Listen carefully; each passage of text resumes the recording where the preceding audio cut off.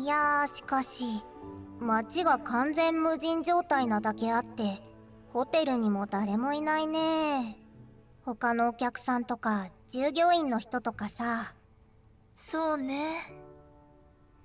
でもまだ起きてきてない子たちもいるじゃない？そっか修学旅行の体だもんな。同級生がいるっていうことか。まあ他になんかキャラクターで23人いるみたいですけどねそうそう。寝坊組は未だ起きる気配なし。あじゃあもう見つけてるっていうことなんだ。ああそっか。そういえばそうだよね。起こした方がいいのかな。いや起きるまで放置がいいよ。無理に起こして寝起きが悪くても嫌だしさ。そうね。長旅で疲れてるんでしょうし。多分もうじき自然に起きてくるわよ私たちもそうだったもの。時間設定してある。じゃあその前にもう少しホテルのこと把握しとこう。他の子が起きてきたのに。実は私たちこのホテルの右も左もわからないんですよ。へへ。とかちょっとかっこ悪いもんね。その言い方よ。アイテム獲得カップ麺海藻を分解できるのは日本人だけ。私たちにも備わっていると思いたいな。わかめラーメンっていうことか。しかもあのでかいサイズの。え？完全に SF やん。何これ？絶対宇宙船やろこれ。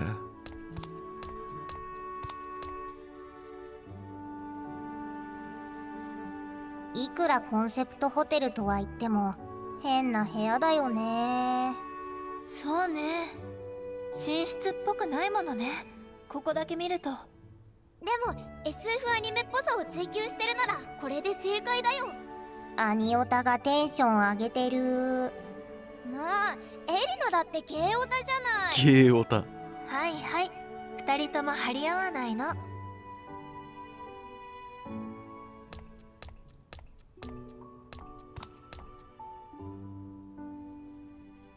なんだこの隙間は？そうだ荷物探し。クローゼットってやつか。それそれ。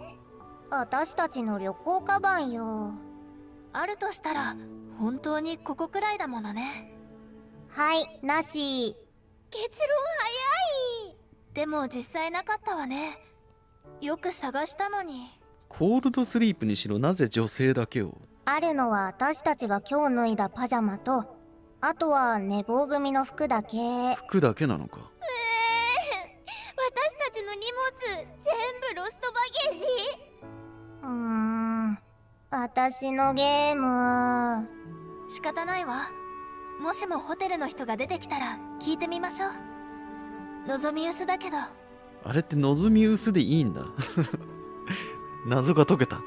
望み薄。うんすっごく望み薄だけどねその望みの薄さが実際に何ミリくらいか計算してみようとしただけで眠くなってきた。我々は考えるのをやめるのだ。は？ひとまず荷物のことは忘れよう。そんなに大事なものは持ってきてないはずだし。着替えの予備はある程度あるみたいだしね。へえ。まあそうだね。そう言いつつ私はゲーム機気になるけどな。セーブデータとか。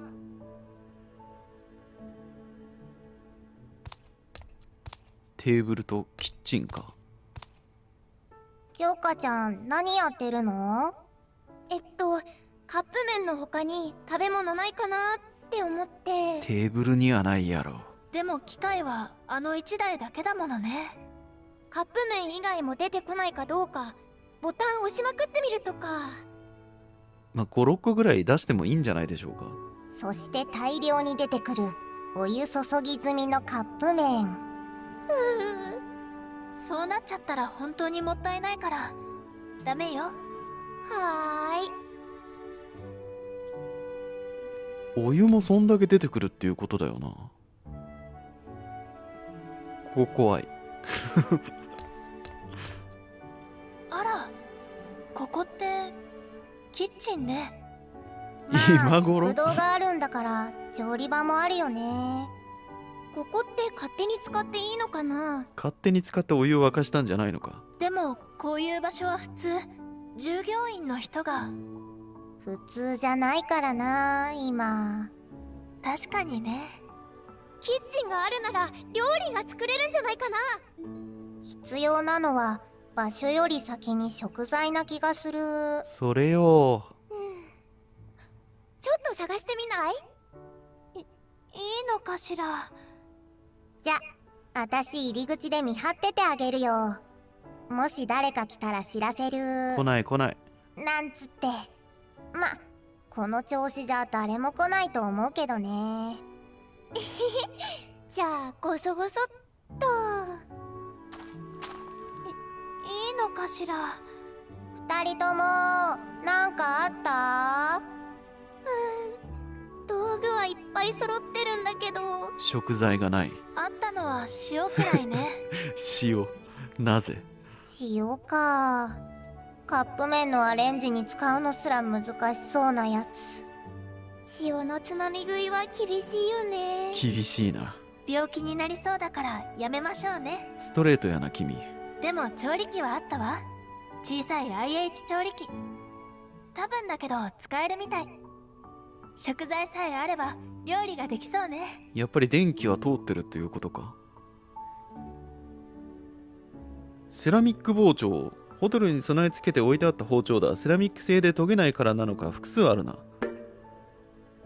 塩。私たちにとって基本のミネラルである。これは塩化ナトリウム100%の塩のようだ。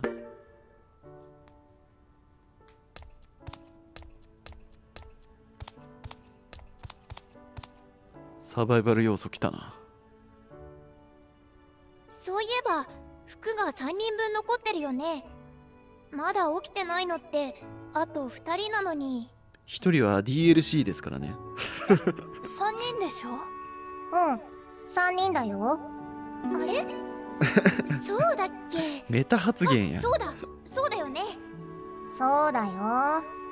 うーわー京香ちゃんひどい一人忘れてた存在ごと。DLC を買わないとその一人には会えない。違う違う。今日か。ええイサナまでそんな目で。違うんだったら申し開きをしてみるがよい。ちょっと勘違いしてただけなの。ほう。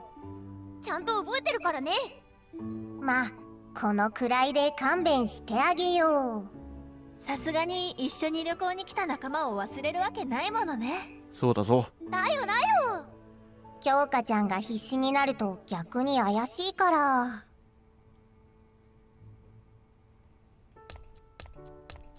めっちゃあるな。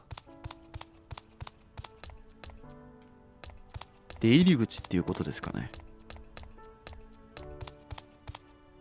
今日かどこに行くの？もう一回外に出てみようかなって。こっから出るっていうことか。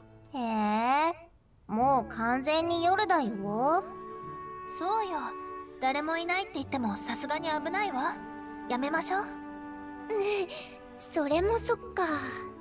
なんで変な冒険心出すかな。夜の秋葉もロマンチックかなって。私よく知らないんだけどそういう街なの？秋葉って。そういう街ではない。私も知らないから確かめに行きたくて。よくわからん。やめとけやめとけ。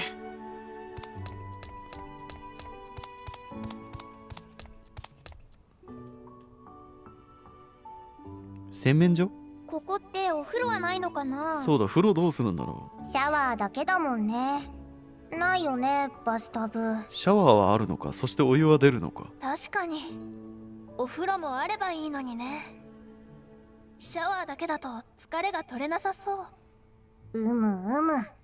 美容と健康のためにもバスタブに浸かるのは大事。美容と健康、はあ、エリナってそういうの気にするんだ。気にするともさ 何その意外そうな顔は。髪洗ってなさそ実際ちょっと意外だなって思って。人を外見無頓着野生児みたいに。そこまで言ってないよね。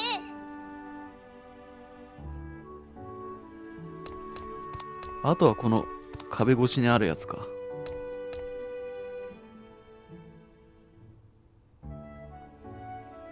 うーん。一緒かどうしたの？エリナ。もしかしてまだ荷物を探してる？うわのぶしあイベン正ト解。はあゲーム機持ってきてたと思うのにな。あら。エリナったら私たちがいるのにそんなにゲームゲームって。うわのぶしいやーそれとこれとは別問題っすよエリナがクールで冷たいよ。はいはい。よしよし。イサナママ。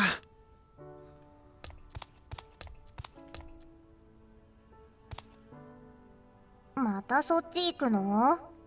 もう良くないかな？よくないかな？そう？あんまし同じとこうろうろしてると私頭痛くなってきちゃうよ。そうね私もなんだか空気が悪いのかしら？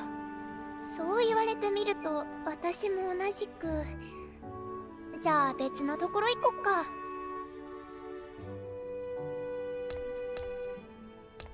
うーんあと同じところだと思うんですけどね。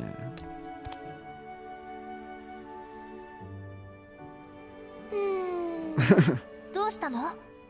やっぱりもう起こす？ああれ中に入ってる？影が見えるっていうことか？うん。でちょっとだけ思ったんだけどまあいっか。寝かせてあげよそれって優しさかい？京香さん。優しさですよエレナさ自分が起こされたくない派なんだろうね。これ途中く途中で起こすと死んじゃうとかそういうのでは？んそう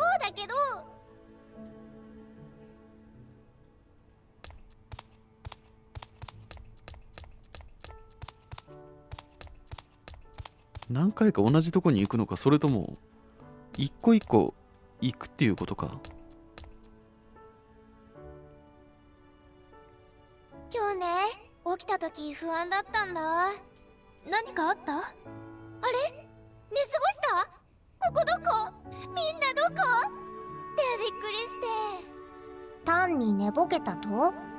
そうです。ふんこのオチである。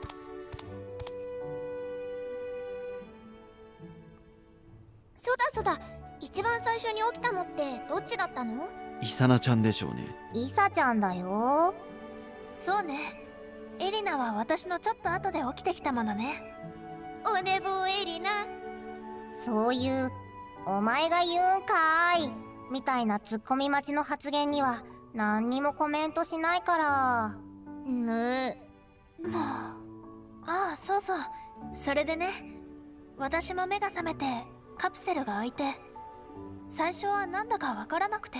もうカプセル言うてるやん。あらここどこかしらってしばらくキョロキョロしてたの。イサちゃんでもやっぱそうなんだ。私だけじゃなかった。そうよ。でも旅行に来てたんだった。ここはホテルだわってすぐに思い出してなんか書き換えられてそう。頭の中。みんなはまだ寝てるみたいだったから先に一人で階段を登ってロビーに。ああ今考えるとなんでそのまま出て行っちゃったんだろう。私たち全員パジャマだったからね。しかも自分で気づかなかったしね。恥ずかしい。でもイサナはウォークインクローゼットには先に行ってみてたんだよねロビーに出たらあの部屋の表示ランプが光ってたからあそこに行けばいいのかと思ったの。でも部屋の中を見てクローゼットだわ。服がいっぱいかかってるわって思ったはずなのに。ああこれもなんでその時に着替えようと思わなかったのかしら。なぜや？イサちゃんにこんなこと言うのは両親が痛むんだけどさ。うん私もめちゃくちゃ寝ぼけてたよね。ああもう嫌。恥ずかしい。絶対そういう問題じゃないな。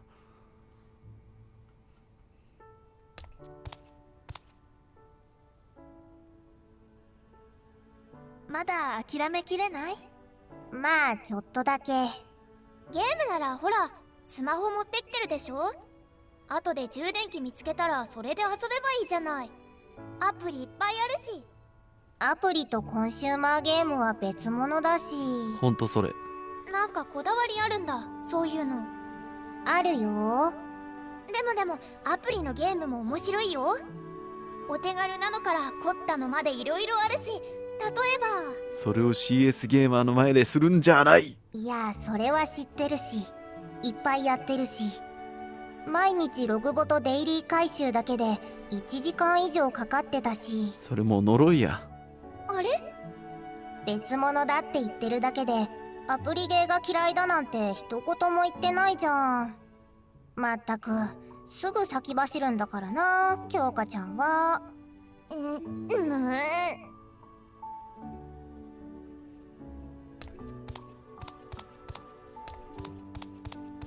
永遠に終わらなさそうだな会話。どこに行けば？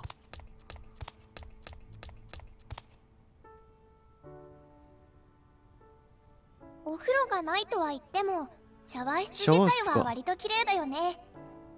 ホテルのシャワー室汚かったら辛いけどめっねちゃ綺麗だけど。でもホテルでも旅館でも結構汚いところあるよね。私が子供の頃に何回かおばあちゃんと泊まったの。そういうところばっかりだった気がするんだけど。安ホテル。そりゃそういうとこにばっか旅行に行ってたんじゃないのかい？古い宿しかない場所とかさおばあさんとなら山奥の温泉宿とか？確かそんな感じ。おばあちゃん派手な観光地は苦手だった気がするし。それじゃしょうがない。秋葉はバリバリ観光地だしこのホテルも作りだけは最新型って感じするし。最新型すぎるやろ。古いところも味はあるのよね。でも申し訳ないけどやっぱりお風呂周りは綺麗な方が安心するわね。衛生面的な意味で。うんうんそれはわかる。お養護に回るんじゃないのか。いやーいい思い出も いっぱいあるんだ絶けど。対虫だぞ虫辛い思い出もあるんだもん。ほら自然の中の古い建物なんてさいっぱいおいでになるでしょ？虫的なものが。ああやだやだ思い出しちゃったよ。もうこの話おしまい。虫かわいそう。なんでそうみんな虫を怖がるのかな？平気なのに。まあ確かにな、まあ、先入観っていうか確かに。生まれた時から虫は怖いもの的な気持ち悪いもの的な感覚できたからな。またそっち行くの？えあんましおなそうね。これは聞いたな。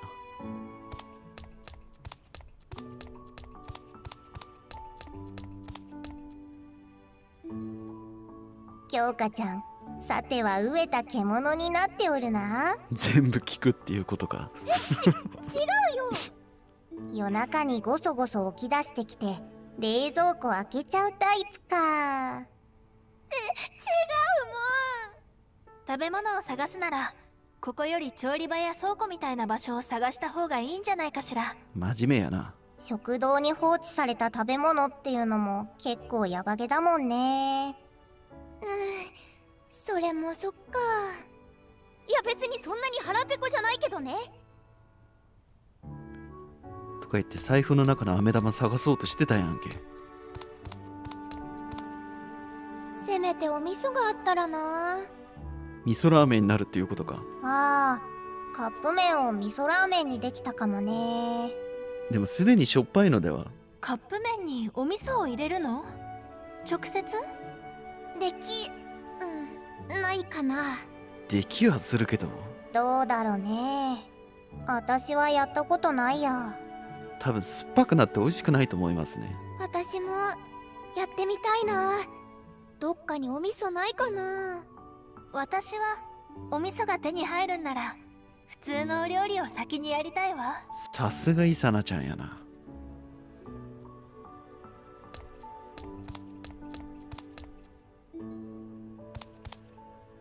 でもいつ起きてくるかな？朝になっても起きてこなかったらその時はさすがに叩き起こそう。それやばいのでは？そうね。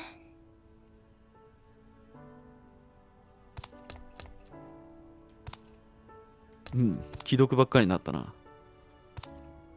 あとは出口か。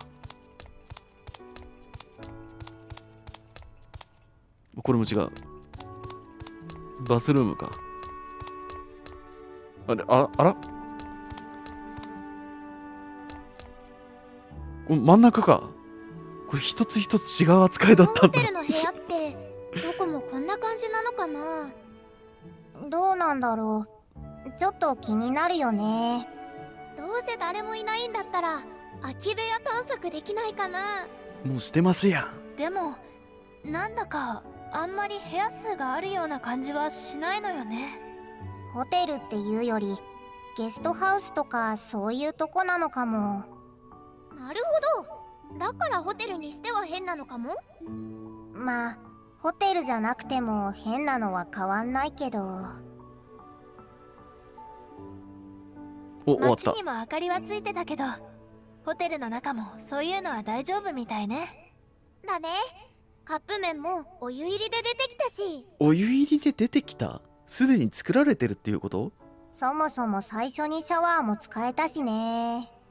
だから何個も押そうとしなかったのか？起きた時は当たり前に思ってたから気にしなかったけど。シャワーがなかったらちょっと耐えられそうにないわ。耐えられないやろ。乙女の危機だよ。よかった。シャワー使えなかったらホテルじゃなくてただのでっかいテントみたいなもんだよねまあ水が出ればなんとか。自然の中なら川とか湖とかで水浴びができるかもだけど秋葉でそれってどうしたらいいかわかんないもんね。秋葉って神田川あるんじゃないっけ？神田川？神田川か。とにかく綺麗なホテルで綺麗なお湯の出てくる綺麗なシャワー室使えてよかったね。神田がめっちゃ汚いみたいな言い方すな。まそれは同意ってことだよ。ほんと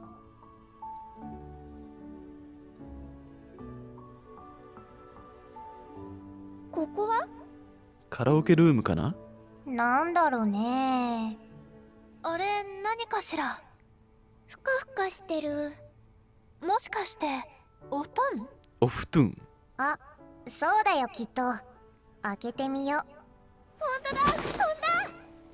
包んであったビニールはちょっとホコリっぽかったけど中身は綺麗みたいね。これ全然寝れるよね。えイサナちゃんが笑った顔初か？これ。ねえねえこんなのあるならここで3人で寝れるんじゃない？あいいねそれ。勝手にここ使っていいの？それは別にいいんじゃない？どうせ誰もいないしさそうだよ。怒られたら謝ればいいんだし。前向き前向き。人いないがな。なんかバカにしてないかな。今は普通に褒めたんだってば。急にネガティブ出してくるのやめ。そっか。うん。ならいいけど。ネガティブになったらおしまいや。それじゃあとりあえず布団出しちゃいましょう。だね。とおー二人とも見て見て。なぜ布スマホ団の中に？の充電器発見。ほんとだ。これで充電できるね。ちょうど3つあるし。3つ？つないでおきましょう。結局布団の方は123うん。6つあるね。勢いで全部並べちゃったね。ええ まあビニールに入れたまま積んでおくのも見た目が良くないし。いいんじゃないかしら。本能でか？うんうん。寝坊組も起きてきたらどうせここで寝るだろうしね。っていうか寝させる。お強引。ガールズパーティーやな。だってせっかくみんなで旅行に来たのに。寂しくない？一緒に寝たいよ。あのカプセルベッドじゃぴっちり並んでたって別々に寝てる感じしか出ないだろうね。そうね。寝る前にいろいろおしゃべりしたりしづらそうだものね。だよねだよね。やっぱり布団に入ってからのおしゃべりって友達との旅行の醍醐味って感じだもん。あコーラ今日か。パジャマに着替えないと。そうだぞ。だってほんと変に眠くて。変に眠い？秋葉探索も変だったけどなんだかんだで楽しかったし楽しい疲れが一気に。急すぎる？むにゃむにゃ。あと5分。もう寝ぼけモードに入っておられる。こら布団に入ってからのおしゃべりはどうした？むにゃむにゃ。むにゃむにゃ。うーんダメだなこの京香ちゃんは。イサちゃん京香ちゃんはほっといてシャワー行こうよ。えー、まだ入ってなかったのか。そうね。だいぶ外を歩いたしさっぱりしたいわね。ほいほい。じゃあ行こう。むにゃむにゃ京香ちゃんはほっといて。結構白状ですね私も行くから。起きてたんかい。ないでよ。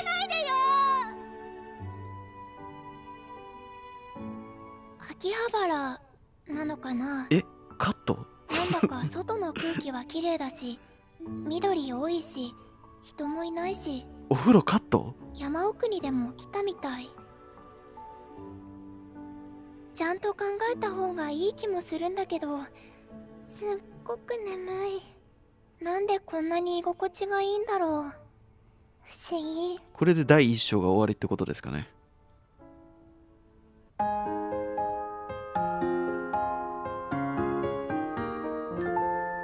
宿屋みたいだな。